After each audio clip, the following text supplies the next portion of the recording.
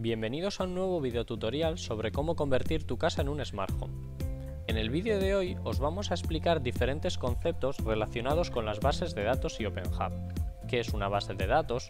¿Cuáles podemos configurar en OpenHub? ¿Cómo podemos instalar MySQL en nuestra Raspberry Pi? Y cómo configurar OpenHub para que guarde la información recibida por los sensores en MySQL. Comenzamos pues por describir una base de datos. Más allá de las descripciones formales que podamos leer en la Wikipedia sobre estas, las bases de datos no son más que programas que se encargan de guardar la información que le pasemos y consultarla posteriormente de forma sencilla mediante preguntas.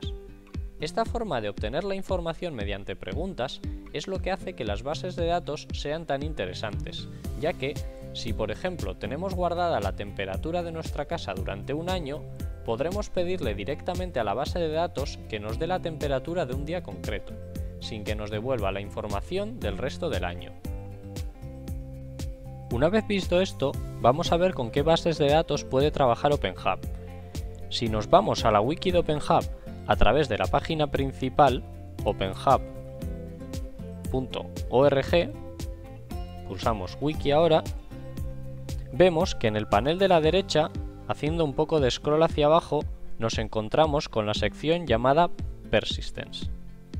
Persistence es la parte o característica de OpenHub que nos permite guardar de forma permanente la información que recibimos de los sensores y actuadores, y por tanto, este será el apartado de la wiki al que tendréis que acudir cuando tengáis dudas o queráis más información sobre las bases de datos.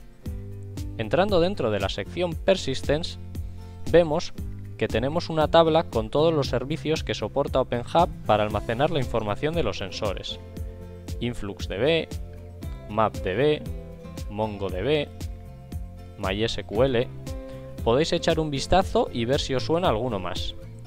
De entre todos los servicios, el que nos va a interesar a nosotros será el de MySQL, ya que es una de las bases de datos más comunes y utilizadas, y en la red se puede encontrar mucha información sobre su uso.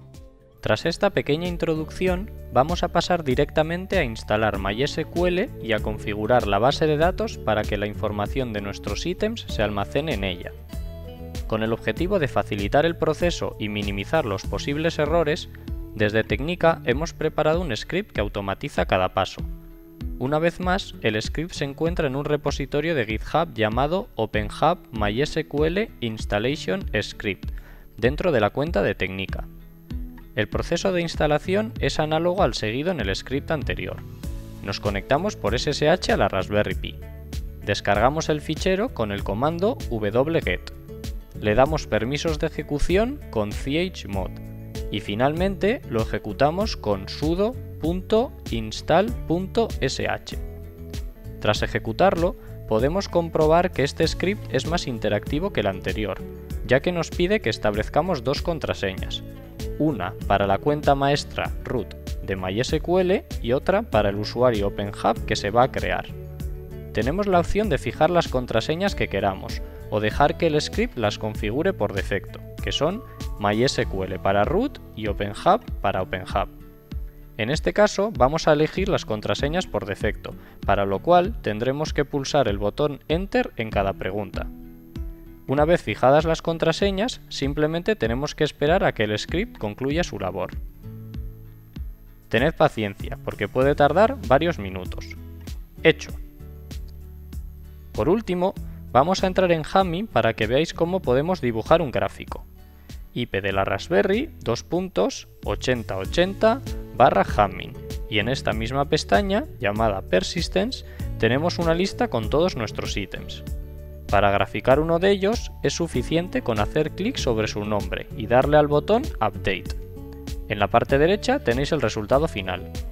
No tiene mucho misterio, ¿no? Y con esto terminamos el tutorial sobre las bases de datos y la parte de Persistence de OpenHub. Si habéis tenido cualquier problema ejecutando el script, no dudéis en poneros en contacto con nosotros. Saludos y hasta pronto.